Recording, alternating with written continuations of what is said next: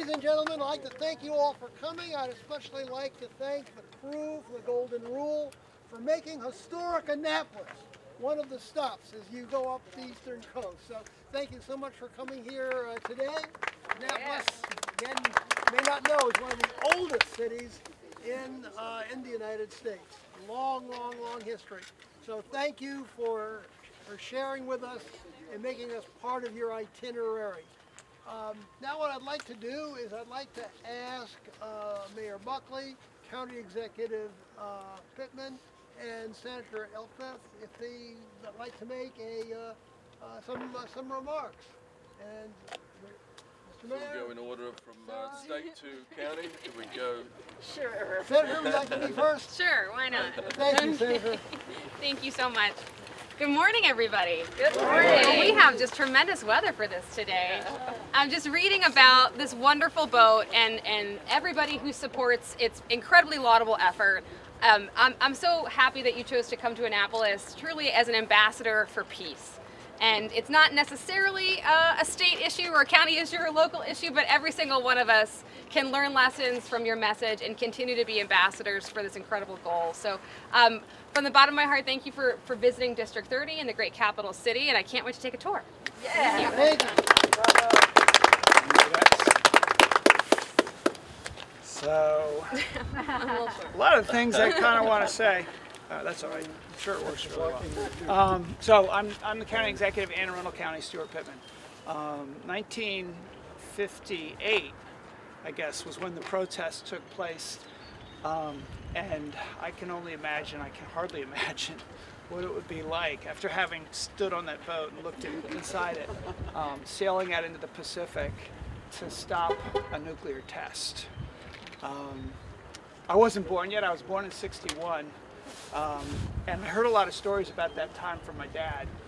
Um, he fought in World War II. He worked on the Marshall Plan to rebuild Europe. And then he was Assistant Secretary of Defense for Civil Defense during the Kennedy administration. Um, right after, he, I think he, 60, 61, around the time I was born. And um, his job was to make sure that America was prepared for nuclear war, that cities could be evacuated and that there would be bomb shelters. And um, a lot of people considered that sort of a joke um, to even try to survive a nuclear war. Um, but he believed in it strongly that any life saved is worth saving. And um, during the Cuban Missile Crisis, when Kennedy called him in and asked what it would look like, how are we doing out there in our civil defense program? Looks like a war could happen. Um, you know, his answer was not so good. Um, and fortunately, we've avoided that war up until now, and I think we've become a little bit complacent about that and forgotten just what a threat hovers um, over the world because of these weapons. And um, hearing about how this boat got pulled out of the pulled out of the water, restored, it sank, I guess, at one point, um, uh, and brought back to life, and now is traveling the I don't know about the world, but at least the hemisphere, um, telling the story of what it did, inspiring people to work for peace, um, is just really amazing, and we're so honored to have it right here in, in Annapolis. So thank you for being here and, and doing this work all of And I will second everything my friends here have said. This is a great time in the city of Annapolis because we are all aligned. We are all with you. Uh, Annapolis is a nuclear-free zone, um, which we're very proud of, and we, it intends to stay that way. Um, but I don't think there has ever been a moment in history where your message hasn't been this important. We have authoritarian, authoritarian leaders um, throughout the world who are uh, rattling their sabers and threatening things that we thought would be unimaginable. But now we turn on the TV and really it is a question. You know, how are we going to look our kids in the eye? How are we going to look our grandkids in the eye and say we didn't stand up? Um, Annapolis stands with you. Um, this reminds me of the boat that I came across the Atlantic in to come to America, a little 32 footer. How many feet is this? 30. 30. Six. All right. Um, uh, it was in kind of about the same shape, you know. but um, it really sends a positive message. Um, I hope a ton of people come out here to see what you've done. I so appreciate the bravery of everybody that sta- stand up. I feel at home with a bunch of old hippies here. Thank you all. I'm, we're all hippies at heart, and uh, thank God for the hippies, right? Yes, Because, uh, they've got a damn social conscience, and uh, you are amazing. Uh, Annapolis loves you. Keep up this amazing work. Thank you all. Thank you. Thank you.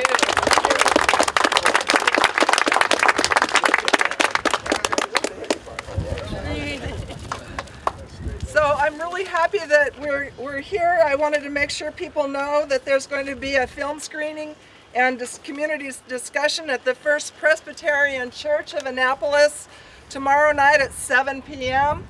And I hope you can all come to that. At that point, we will show the film that talks about the history of the Golden Rule.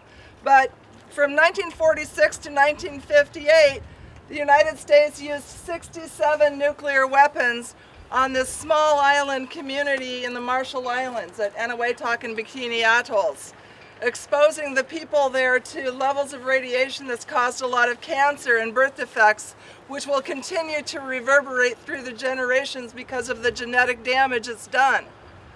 So this group of Quakers sailed the Golden Rule towards the Marshall Islands, and when they were stopped in Honolulu, and another boat did make it to the Marshall Islands, it started this wave of protest against nuclear weapons, allowed President Kennedy to sign the Nuclear Weapons Test Ban Treaty of 1963, and inspired the founding of Greenpeace. So you can imagine there's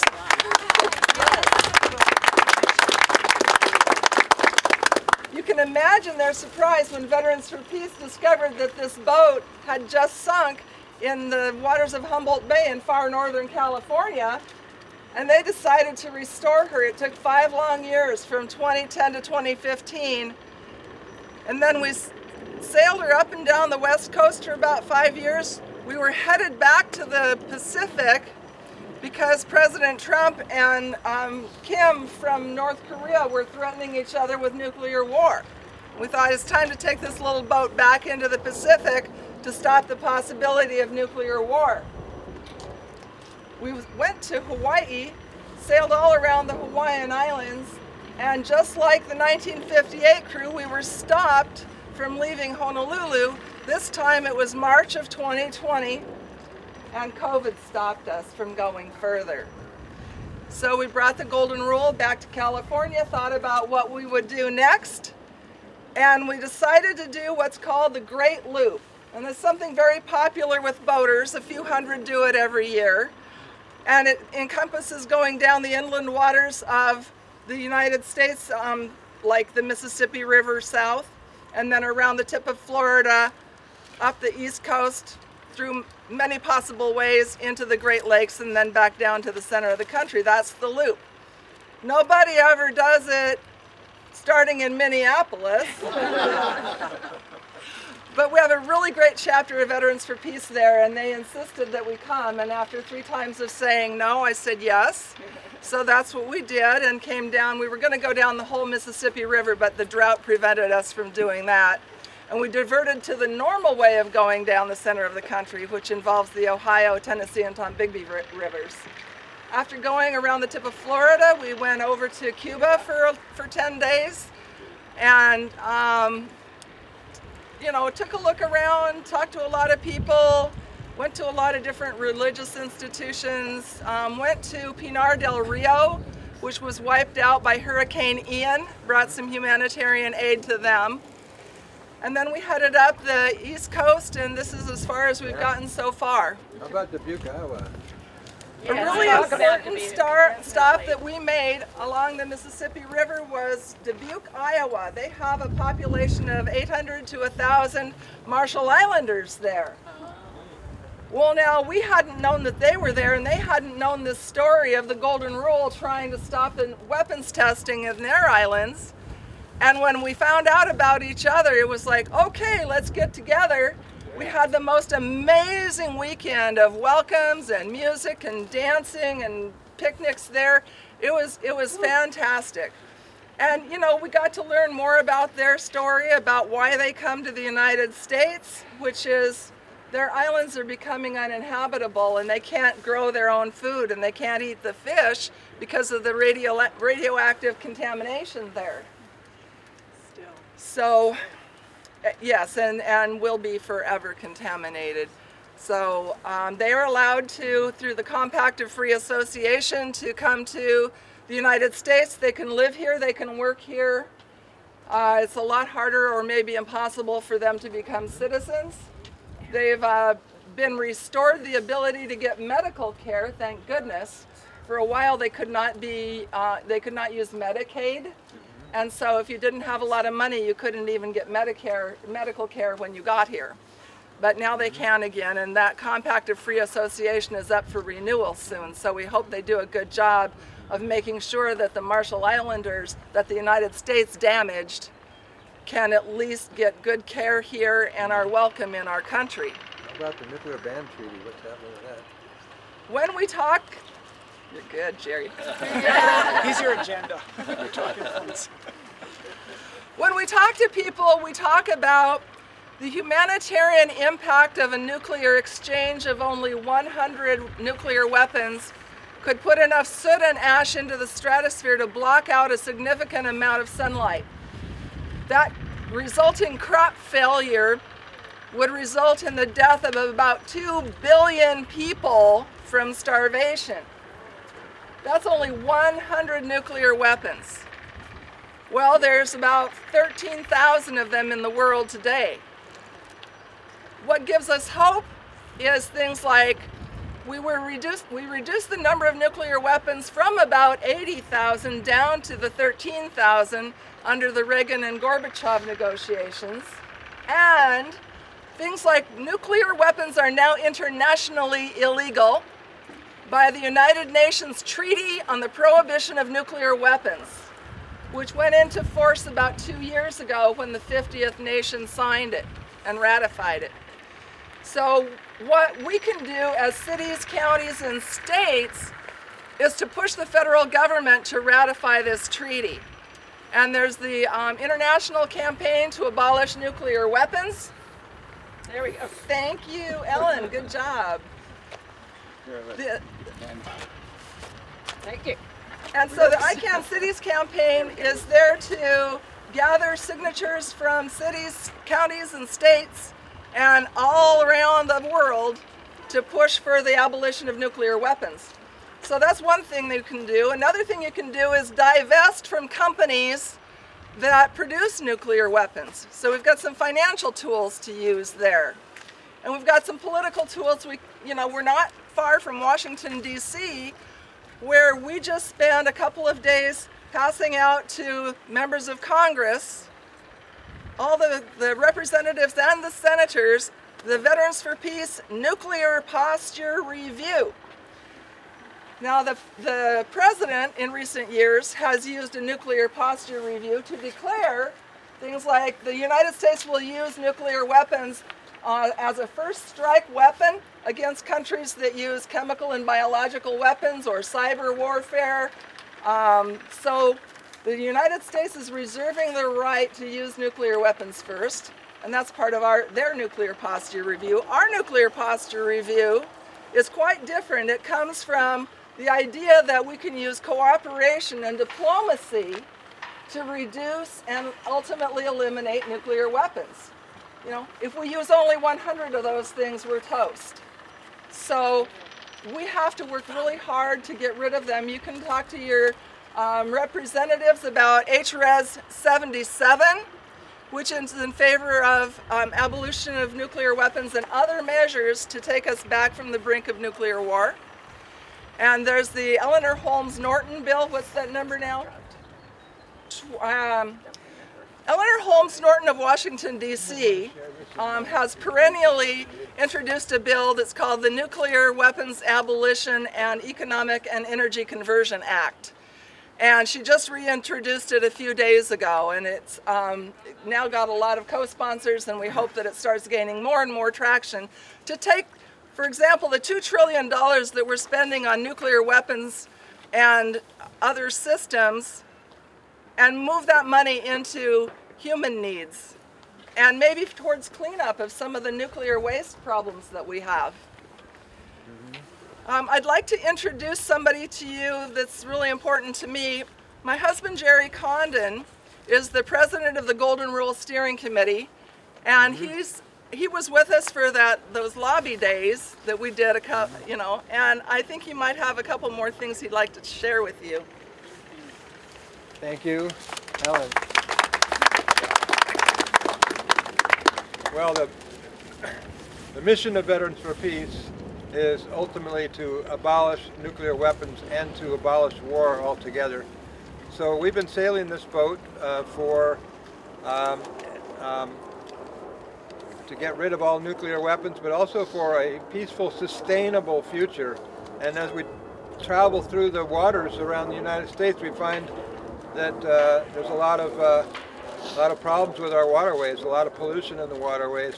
We've been actually highlighting that in recent days, um, and um, along with Pat Elder here, who's taken such a leadership on this issue. You want to say a few words, Pat?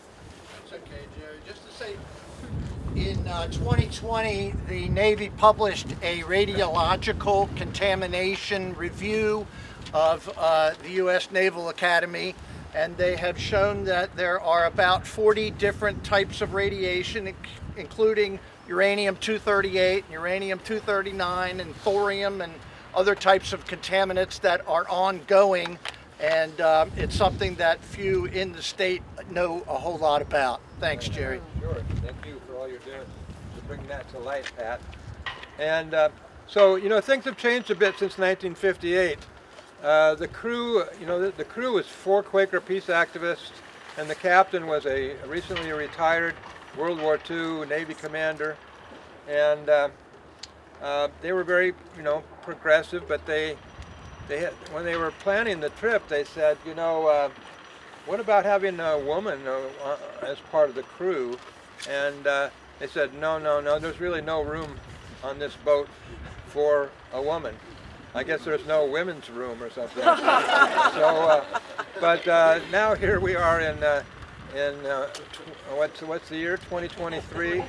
Uh, things have changed a bit, so uh, we've had a lot of women crew. We're at, right now, our crew is two men and two women, and I'd like to invite uh, one of the women up to say something. Well, it's a, we call it the head. It's very shared. it's tight. My feet are too big for it. Mine too. yeah. So in uh, in the fall, I thought I was going somewhere, but I didn't know where.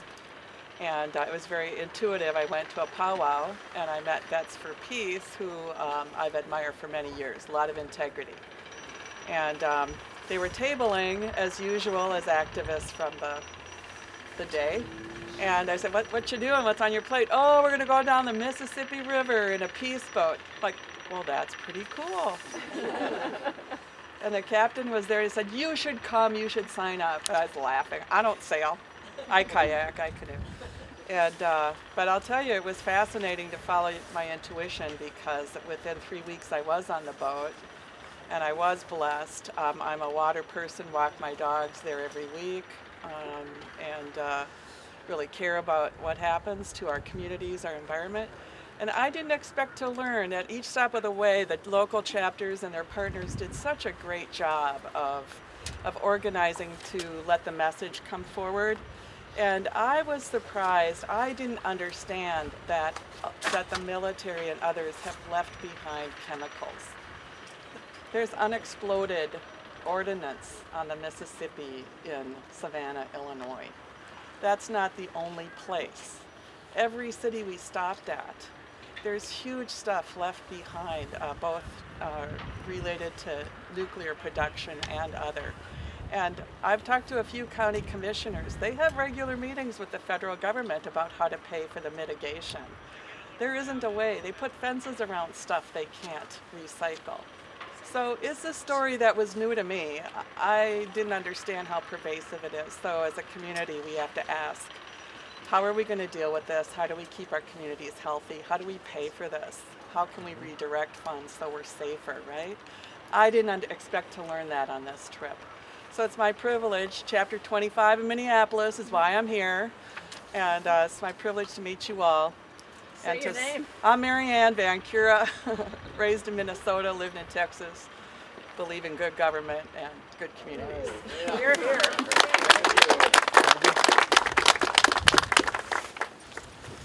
I'll repeat, it's a privilege to be here. It's quite a blessing to be here. Thank you all for coming. Uh, thank you for giving me the opportunity to be a part of this. Um, I've just joined uh, in Maryland Waters. I was born and raised in Baltimore. So um, when I found out this was part of the Great Loop, I had to be a part of it. And I originally got connected with the Golden Rule in Honolulu. That's where my home is. And um, I have a history of teaching peace studies in Japan. And um, when I heard there's a peace boat, what? Great. And at that time, you know, the mission was still ongoing to get to the Marshall Islands, and COVID happened, and I actually was uh, given charge of taking care of this beautiful vessel while it was stranded in Honolulu. So I had the honor of coming once a week and pumping the bilge, starting the engine, and moving it when we had to, when we got mm, kicked out of certain, well, there was limitation, time limitations for each dock, and I had to move the boat once in a while. Anyway, that was quite a privilege as well, and that um, instigated uh, my thinking in, well, if we have to cancel the trip to the Marshall Islands again, I can bring our local Marshallese community to the boat. So that was quite a privilege as well, to bring uh, a crew of Bikinians on board. That was wonderful. And um, uh, I can say that uh, my involvement in these issues began because uh, we were told in Honolulu that we had 20 minutes before an incoming an incoming ballistic missile nuclear warhead was going to strike us. And um, I don't know if anybody here has had that shared experience. Please talk to me later if you have. But what do you do when you're told you have 20 minutes to live or to shelter in place? We were told we had two months of discussions with our local legislature what to do because um, Trump and Kim Jong Il were threatening each other, and Kim Jong Il was stating either Guam or Hawaii. Well, we woke up at 8:15 one morning to an alarm on our devices saying incoming ballistic missile. This is not a drill. So we had two months of preparation to know that, well, we have 20 minutes. We were told we have 20 minutes from uh, notice to impact. And we were told to shelter in place in an airless room and to seal all the doors and windows and to have provisions for two weeks. I mean, I don't know who did the studies to know that the air was going to be safe after two weeks. But this is what the discussions, the ongoing discussions were. At the time I taught in a school, all of our faculty meetings were, what do we do with the kids? You know, we got to put duct tape on all the, uh, the windows to seal them tight. Uh, we have to have enough water. Uh, we have to have kitty litter for the kids to use a toilet in a wastebasket. I mean, all these discussions were ongoing. What do we do if a parent knocks on the door after lockdown and insists their child has to come out? How do, you know, what do we do? Do we let the rest of the classroom get contaminated air while we let that one child go? I mean, all these discussions were just brewing before we got that alarm. This is not a drill. So how would you react? What would you do? I had a room in mind downstairs. Um, my two kids were in Asia, so it was only me I had to think about and my two cats. So I was thinking, I need kitty litter for the cats and me. And uh, I need food and water. And suddenly I looked at my watch and 20 minutes had passed and I hadn't really gotten very far. And I thought, oh, how strange, the alarms haven't gone off. So at that point, I just relaxed and said, well, do I really want to spend two weeks in an airless room? Do I really want to face what I'm going to have to face when I come out of that airless room? So I just decided to, you know, come what may, I'm not doing anything. and I came to some calm and some peace within me. But anyhow, um, it's quite a privilege to be here. That's my story, and um, thank you. Say your name. Oh, my name is Barbara Cooney. Ladies and gentlemen, I'd like to thank you all for coming out to this welcome for the crew of the Golden Rule. I'd like to especially thank our elected representatives, uh, County Executive Pittman, Senator Elfreth, and Mayor Buckley for being with us uh, this uh, afternoon. And the, uh, the crew will still be around if you'd like to have an opportunity to chat with them individually. I'm sure they would be delighted uh, to that. And again, a very special welcome to the Golden Rule and its crew for making Annapolis one of their one of their stops. We are truly, truly grateful and supportive of you. Thank you all again. Can we, can we get a picture with the crew? Thanks to our wonderful cast of